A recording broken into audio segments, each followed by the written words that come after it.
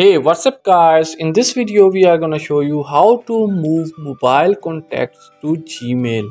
Before moving further like this video tap on subscribe button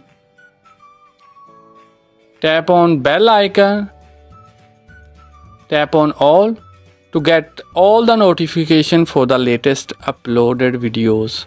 For this one you have to open Gmail and then tap on profile picture. Tap on manage your google account.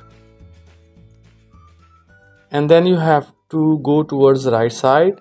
Here you will see option people and sharing. Tap on it. Scroll down. Here you will see option contact information from your devices. Tap on it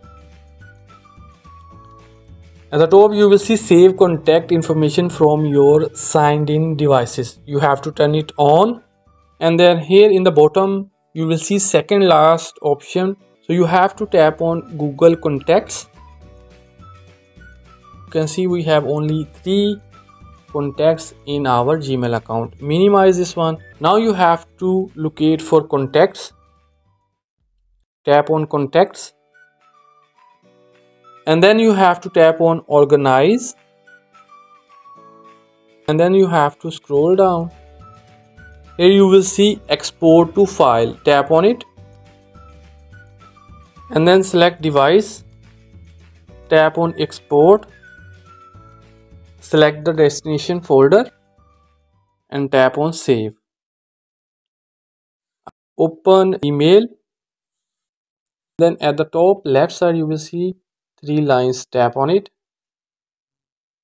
Tap on import. Then you have to tap on select file. Go to the destination folder select the file. Tap on import. You know you can see all the contacts are now in gmail.